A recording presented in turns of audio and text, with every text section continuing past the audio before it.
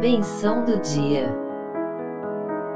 Porque o Senhor é bom, a sua misericórdia dura para sempre, e, de geração em geração, a sua fidelidade. Prove e veja que o Senhor é bom, e verá em sua vida a infinita compaixão e misericórdia de Deus.